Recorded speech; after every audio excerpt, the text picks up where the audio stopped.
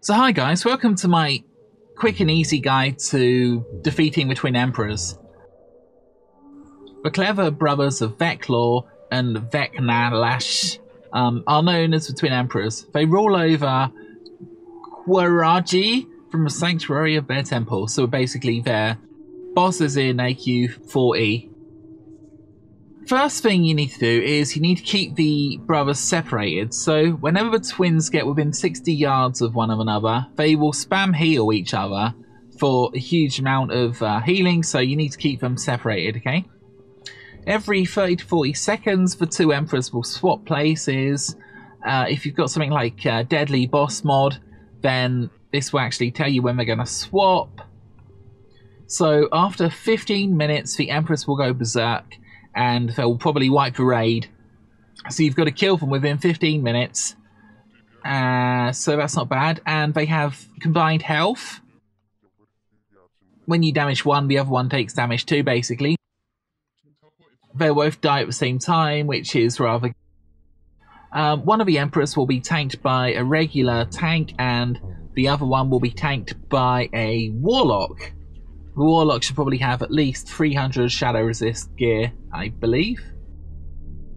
If there's a bug near the Emperor, then every, say, 10 to 15 seconds, the bug will grow gigantic and it will start to attack everyone. So these bugs really need to be tanked, or, you know, they need to be eliminated, basically.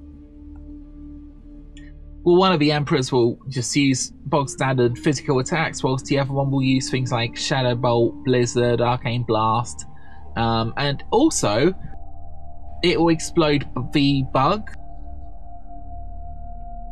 The bug will explode, doing a whole bunch of fire damage, basically. So keep an eye on that. So here's the strategy, right? You really want to have your sort of DPS team and your tanking team who will sort of run backwards and forwards. Before the Emperor teleports and swaps places, the DPS team will basically run out, and this will mean that um, a warlock or tank can basically take the emperor. And I suppose the other tank will sort of run into place to pick up the emperor when he teleports. Teleports can be five seconds slow, so keep an eye on that. As you can see in this video, we've kind of got the druids and things tanking a lot of the bugs in the middle, and they do a very, very good job of this.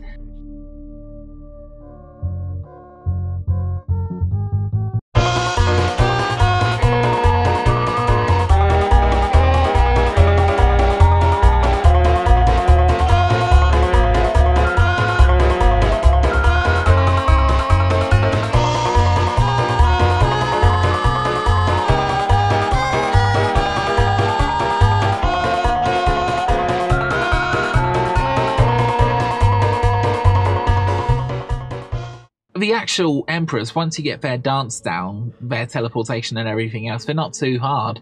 But the thing that's likely to wipe the raid is the bugs, which will constantly run in. Uh, the bugs are sort of really annoying. Yeah, you you basically want to kill the bugs as quickly as possible. I hear there are guilds that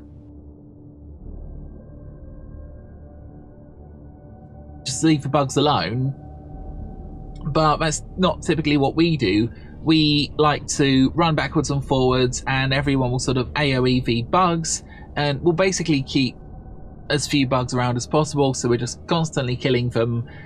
This seems to be a lot better than trying to avoid them altogether. The Magical Emperor is tanked by a Warlock. It will do shadow damage, and the uh, Physical Emperor by a Warrior.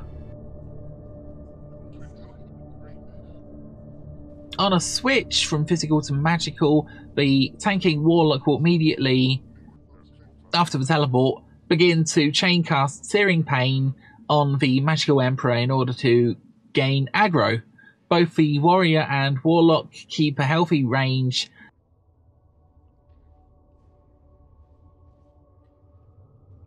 To the Emperor to avoid arcane blasts, um, triggering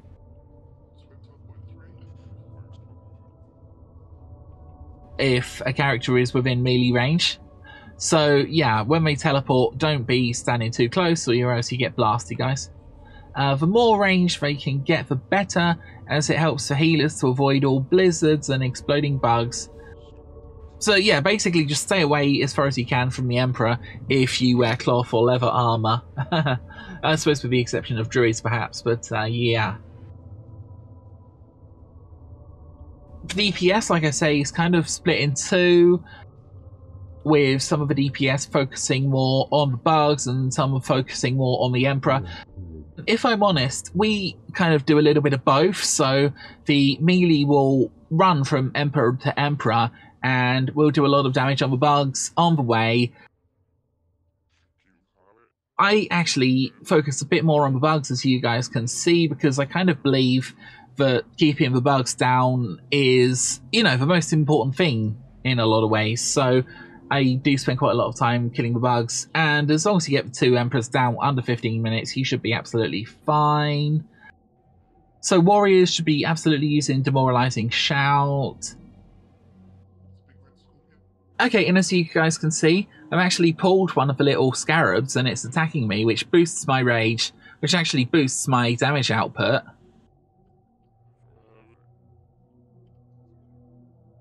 Um, making sure the DPS stay alive is like literally the most important thing. This is one of the reasons why I prefer armor that's got a little bit of defense on it.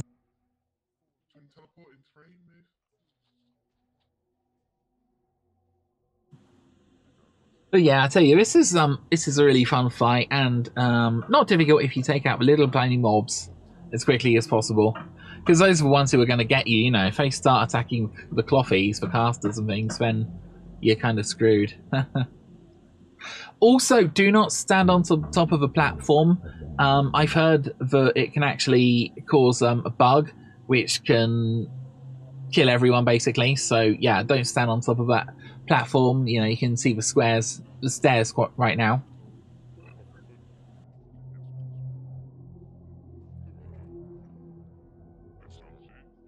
As you guys can see, we've got our two bear tanks sort of smashing up. And way, we've taken the Empress down.